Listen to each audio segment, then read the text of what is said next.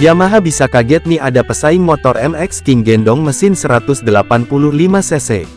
Apalagi motor ini dibanderol gak terlalu mahal.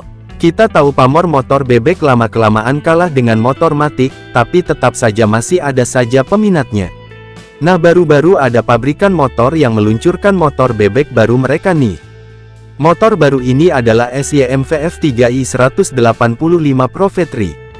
Buat yang masih asing mendengar namanya, SYM adalah pabrikan motor asal Malaysia.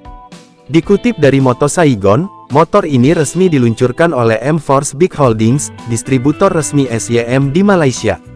Sebenarnya SYM VF3i 185 Pro V3 adalah motor bebek generasi ketiga buatan SYM.